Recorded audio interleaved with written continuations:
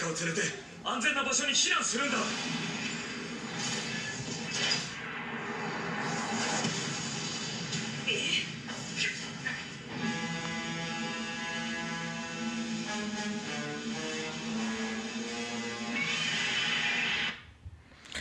So this is Ice Godzilla.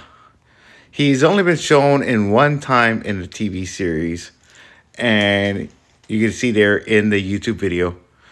He is one of the less famous Godzillas, but he is a known Godzilla.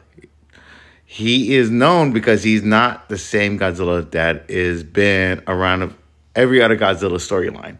Now, if you want to take a look, there's one to two difference of this Godzilla.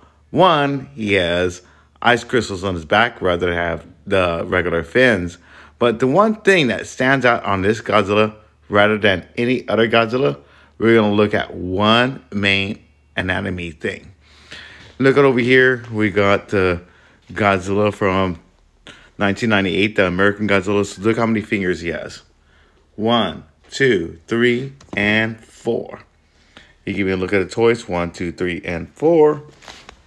We can go over here one, two, three, and four. then we're going to go over to Burning Godzilla from 1995.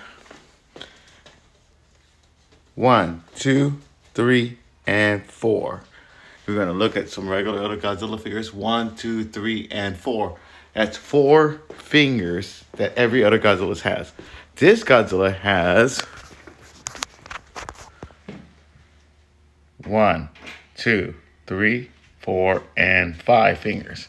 If you look back on this side, one, two, three, four, five fingers. One, two, three, four, five.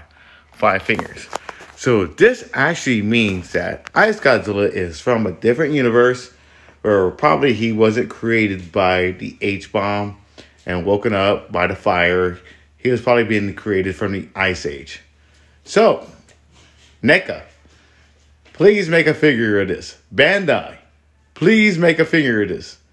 We want to see an Ice Godzilla figure because this guy is absolutely cool to be part of your collection. Thank you.